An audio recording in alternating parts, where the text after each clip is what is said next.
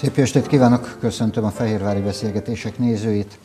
Egy legendával fogunk ma beszélgetni.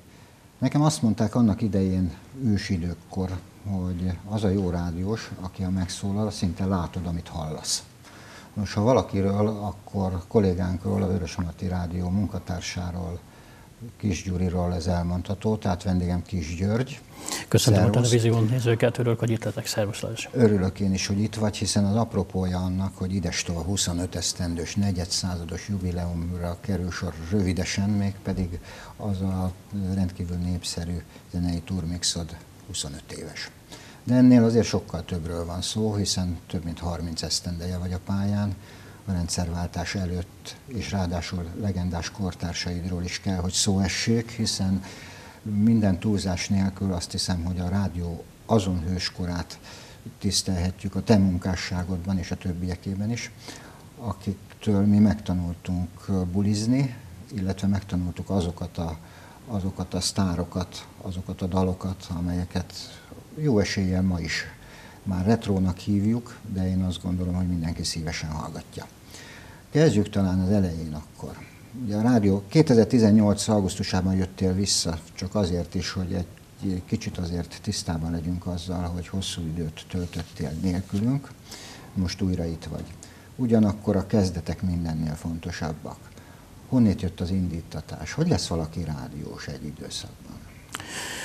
80-as évek közepére ugrom vissza az időben, az egyetlen egy igazi rádiós könnyűzenei műsor, nem bocsánat, kettő volt, Komjáti György nevéhez köthető a vasárnapi koktél fiataloknak, illetve a vasárnapi ominózus példa a poptarisztja, a Lacival, amely az első fázisában 20 évet élt meg. Én amikor bekapcsolódtam, és az a rádióműsor útjára indult, az 1984. Akkor én voltam testvérek között, meg magunk között is 14 éves. Persze, hogy az ember nyitott volt az újdonságokra, és én iskola rádióztam az akkori általános iskolában, aztán a későbbiekben, majd a középiskolákban is. És valahogy úgy éreztem, hogy nekem ezt kellene tennem, amit ő. Nem azért, mert olyan dalokat játszik le az ember, amire úgy odafigyelnek, hanem amit mond, a zenékkel kiegészítve, arra felfigyelnek. Tehát bejött egy kicsit az információnak a közzététel. Nem csak arról szólt a rádiózás, hogy Madonna énekelt, és következik Michael Jackson. Az a munka, az az előkészítés, amit mi akkor láthattunk, akár tévéműsorokból, újságkiadványokból, az nekem nagyon megtetszett. És én egyszer írtam a Lacinak, hogy szeretném megnézni a Petőfi rádió műsorait. 14-15 éves fehérvári gyerek a Pop Trisztia fénykora. Gondold el, hogy ő akkor naponta több száz levelet kapott. Mégis valahogy bejutottam hozzá, és én átéreztem, láthattam, hogy hogyan készül egy ötödik sebesség, egy csúcsforgalom, a klasszikus Petőfi reggelek. És aki bement valaha a Magyar Rádió épületébe, a Bródi Sándor 5 keresztül ment a pagodán, vagy ott a, a folyosón, hogy érezte a légkört, hogy itt van valami. És akkor jöttek veled szembe a rádiós személyiségek.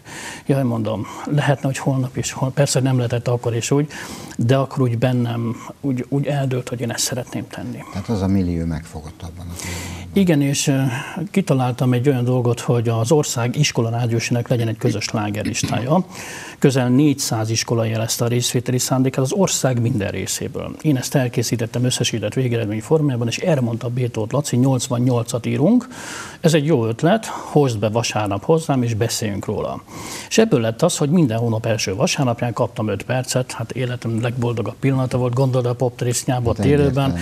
Soha nem felejtem, mert most valaki visszajutotta hozzám az első megszólalásomat, becsukott szemmel hallgattam vissza magam köszöntem a poptrésze valamennyi hallgató, de az a hangszín, de tehát most még csak véletlenül sem tudnám érzékeltetni, nyilván fiatalabb volt az ember, a meghatottság, nem volt benne viszont tévesztés. Az nagyon tetszett az első Miként teremtettél stílust magadnak? A jó rádiós az megtanul valamit, és a, a saját magához igazítja, a saját gondolatsoraihoz, a saját stílusához. Ez a tévében is így van egyéb iránt, de azt gondolom a rádiónál ez mindennél fontosabb, hogy egyedi légy. Nem kíván azt mondani magamról, hogy értékmentésben gondolkoztam, mert utólag már tényleg ennek nevezhető ez a közel 30 éves pályafutás, de akkor én nagyon sok hideget és meleget kaptam, hogy én azt csinálom, és úgy, mint a Bétót. De hát ennek egyetlen egy oka volt, hogy én mellette tanultam. Azon kiválasztottak egyike lehettem, aki ott ülhetett mellette, aki akarva, akaratlanul a megszólalásait úgy kezdte, a tartalmat egy picit próbáltam kibővíteni, szóval átültetni egy olyan közegbe, amit egyébként a közönség kint a rádióműsorokban hallhatott. Ez most az iskola rádiós műsorokra történő levetítését értem. És hát úgy tűnik, hogy ez mégiscsak sikerült abban a formában, hogy aztán az iskola rádiónak a műsor szerkezetét tovább tudtam bővíteni, akárhova mentem a későbbiekben, mindig elfogadták azt, amit ötletként letettem az asztalra. Tehát valahogy ez a táplálkozás a szakmából mégiscsak eredményes volt. Igen, annál is inkább, hiszen itt a műsor előtt beszélgettünk, és említettem neked, hogy a 70-es évek közepén, amikor tetőzött az ifjúsági probléma, az volt a, a diszkókorszak kellős közepe számunkra, tínédzserek számára, és nekünk a csodát jelentette egy-egy találkozás Bétottal, Cintulával és a többiekkel. Fantasztikus. Hiszen csak két rádió volt, ne feledjük, Kossuth és Petőfi, még nem volt Bartók sem, és a Petőfén voltak többnyire a fantasztikus könnyűzenei műsorok, ami számunkra közelebb hozta, hiszen koncertek is kevesebbek voltak, tehát megismerhettük a a külföldet, ha úgy tetszik, azt a nyugatot és azt a zenét, ami számunkra ismeretlen volt ezen kívül. Te hogy választottál? Ugye itt a, a hogy lett színvonal? Hogy választottál magadnak sztárokat?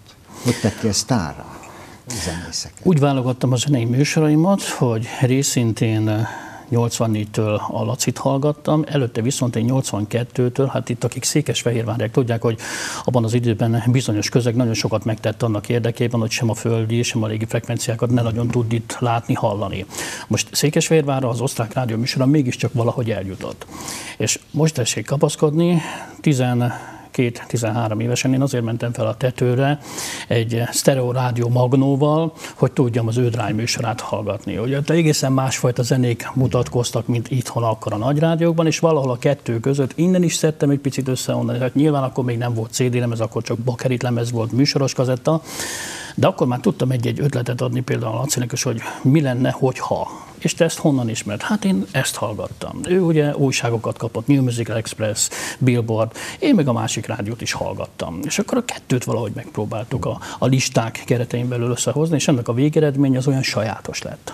Mikor jött el az ideje annak, hogy valóban ha úgy tetszik, már felnőtt fővel, hogy rádiós legyél. Mikor döntöttél úgy, hogy ha törik, ha szakad, mindenképpen a rádióval szeretnél foglalkozni?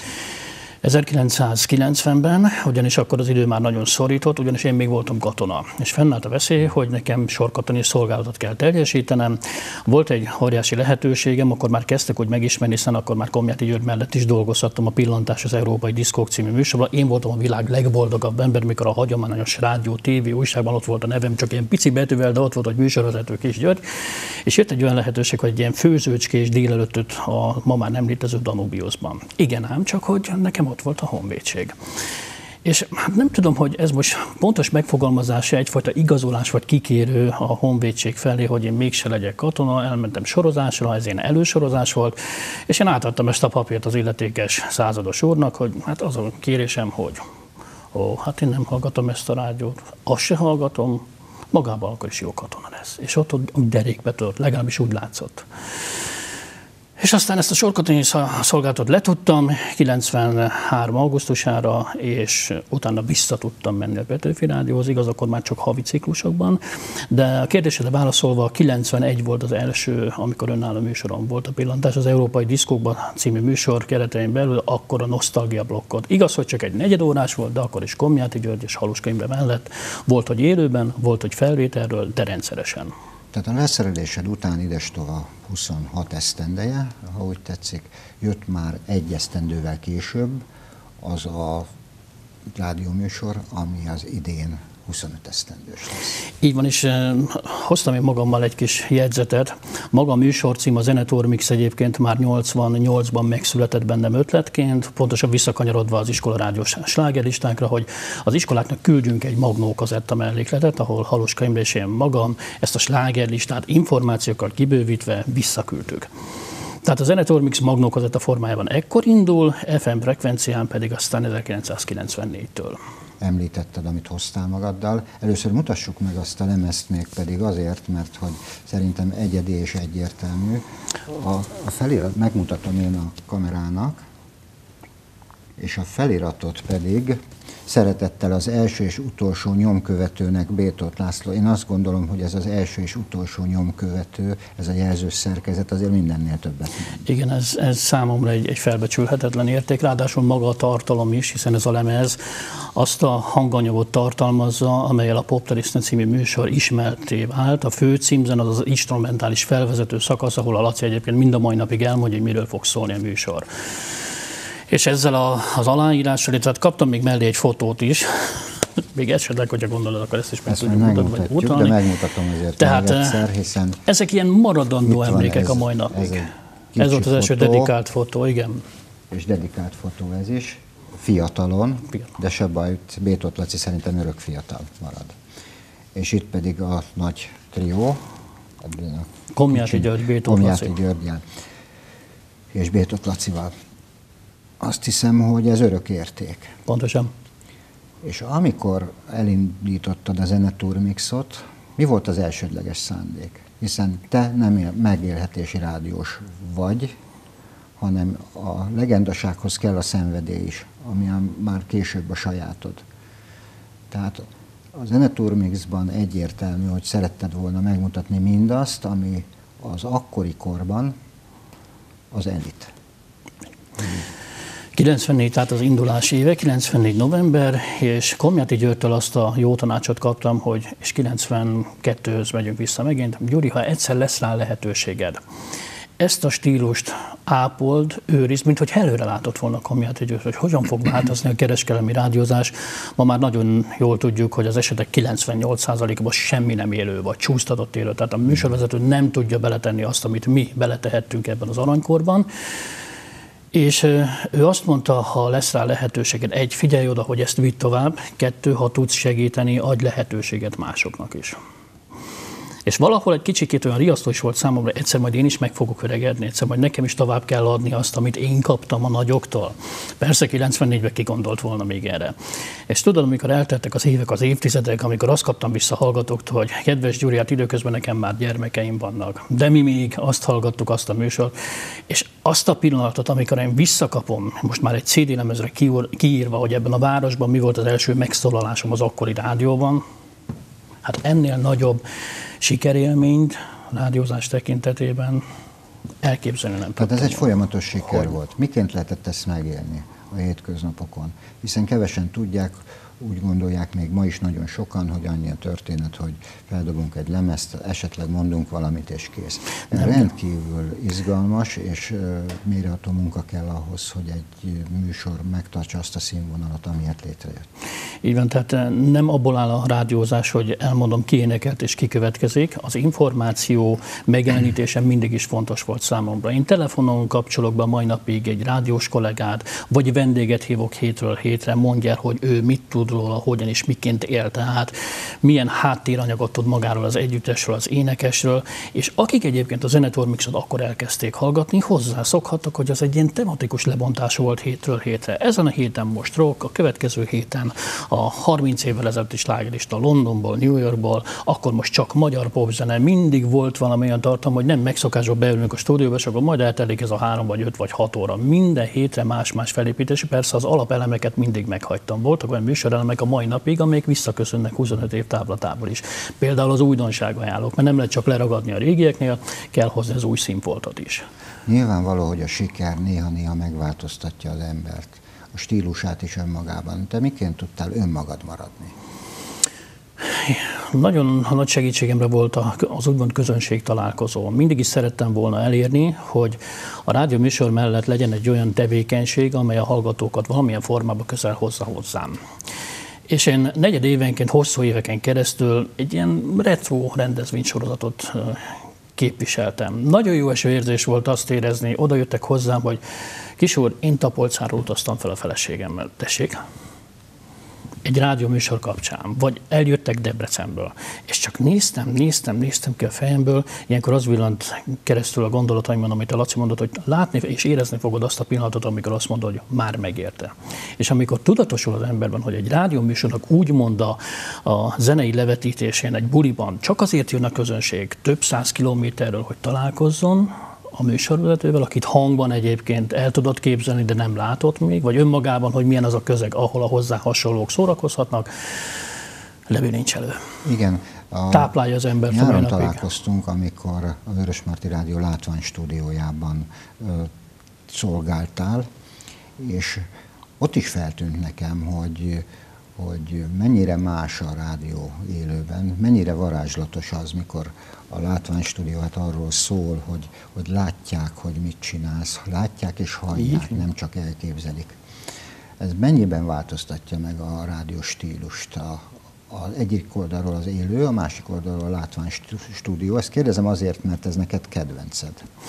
Nekem a közszolgálatiság inkább úgy mondom az a kedvencem. Tehát említettem neked itt a műsor felvezető szakaszában, hogy én nagyon szerettem volna már akkor is látni, érezni, hogy, hogy milyen az, amikor egy, egy műsor elkészül, mi minden kell addig, mennyi alkotó elem, hogy a végeredmény olyan legyen. És hogyha ráadásul ez élőben történik a közönség előtt, az még jobban felturbozza az embert. De attól függetlenül, hogy ez most egy látványstúdióban kerül a kedves hallgatók elé, nekem óriási segítség, hogy maga a stílus az közszolgálatiság. Tehát nem kell kibújni a bőrömből, és akkor ilyen vigyori, önmagamat elnézést megerőszakos, képmutató stílusban előadni, hogy ha-ha-ha, hello, szia, szevasz a kezéshez. Nem. Én azt hiszem, hogy ez a méltó helyem a közszolgálat. Ez nekem, ez, ez nekem egy, egy óriási öröm, egy óriási felelősség a retro bulik korszakát éljük. Lubickolsz a retróban? Igen, a, örülök neki, hogy a, a hallgatóknak nagyon fontos ez a zenei stílus ez nekem egy, egy szívügyem volt hosszas évekkel ezelőtt, amikor 94-ben elkezdtem, akkor már ez a retro stílus, illetve maga a 70-es, 80-as évek, hogy azt mondták, hogy jaj, ne, hát annyi kereskedelmi rádió indult útjára országos szinten, és hogy mindenhol éppen a jelennek a sikereit.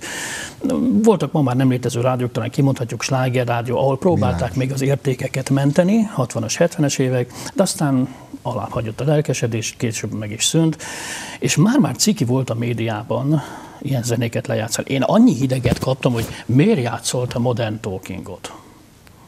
Én azt szoktam mondani, hogy tessék eljönni egy ilyen rendezvényre, vagy most már vannak okos telefonok, vagy vannak élő közvetítések, és tessék megnézni, hogy a közönség hogy reagál például a Modern Talkingra.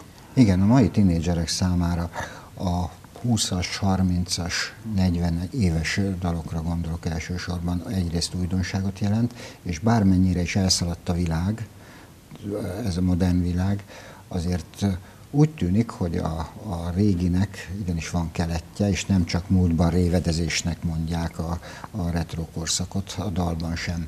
Ez neked megerősítés, gondolom, hiszen az egyik első vagy, aki ezt megtartott.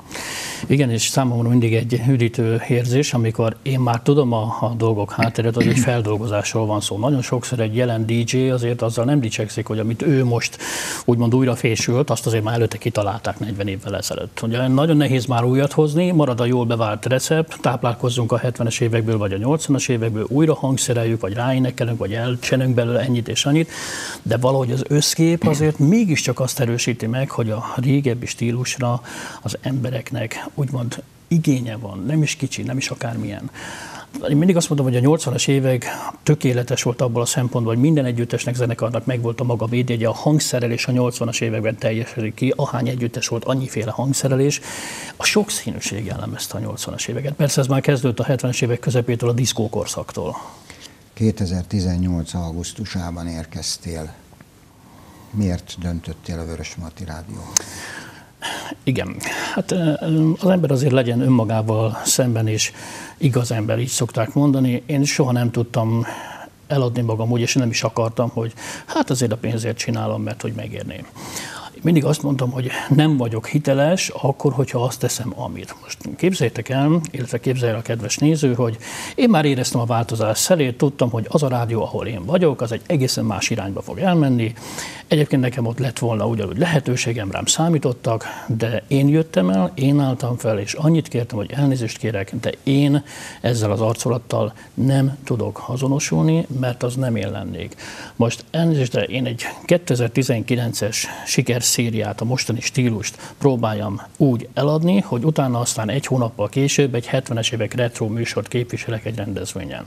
Lehet ezt úgy mondani, hogy jaj, Gyuri, te értesz a 70-es évekhez is, meg a 80 Na hát, aki engem ismer, aki engem lát, meghallgat engem abban a rádióban, ahol egyébként semmi nem élő, mert e- ettől aztán végem van. Tehát a rádiózást én el nem tudom képzelni, hogy egy műsor ne legyen élő.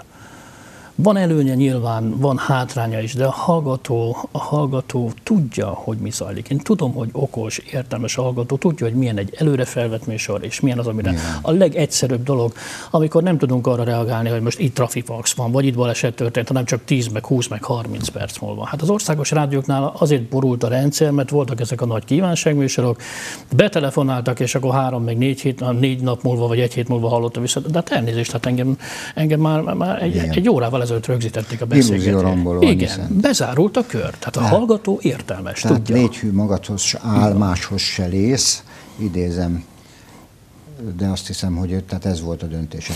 Igen, igen, és én nem is rádióztam volna tovább, én már máshova mentem dolgozni, egész az élet másik területére, amikor jött a lehetőség.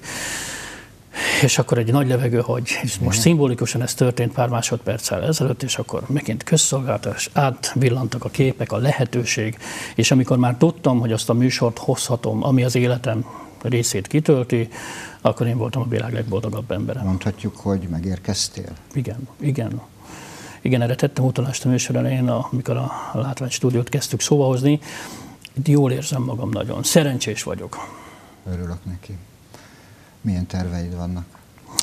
Nyilván szeretném ezt még tovább folytatni, és persze az ember örökké nem rádiózhat, de ha elmondhatok egy statisztikai adatot, ha nem is teljes mértékben számokban kifejezve, ma azt szerintem mindenki tudja, hogy Komjádi György a magyar rádiózás éllovasa, hiszen a vasárnapi koktéllal kapcsolatban több évtizedes múltat vontat a magáinak. Ott van Bétót Laci a poptrészjával, és az első háromban ott vagyok én is. Ez most FM frekvenciára értendő, tehát nem az ilyen internetes kivetítés. Ez azért azt hiszem, hogy egy, egy, egy óriási referencia. Én ezt még szeretném tovább folytatni, úgy látom, hogy még egy tíz évebben van. Így van egyértelmű. Nos, hát akkor ehhez kívánok kitartás, erőt, egészséget, a nézőknek pedig hallgatottságot értelemszerűen. Ezzel nincs gond, és nem is volt soha. Köszönöm, hogy itt voltál, és hajrá Zenetúr. Még kíváncsian halljuk a, a 25 éves jubileumi November 24-én vasárnap a Vörös Marti Rádióban 17 órától. Ámen, köszönöm, hogy itt voltál. Én köszönöm a lehetőséget. Kedves nézőink, Kis György volt a vendégem, a Zenetúr Mix népszerű uh, rádiósa, a Vörös Marti Rádió munkatársa, tehát a felszólítás tovább él, ahogy eddig is mondtuk, hallgassák a Vörös Marti Rádiót. Viszontlátásra!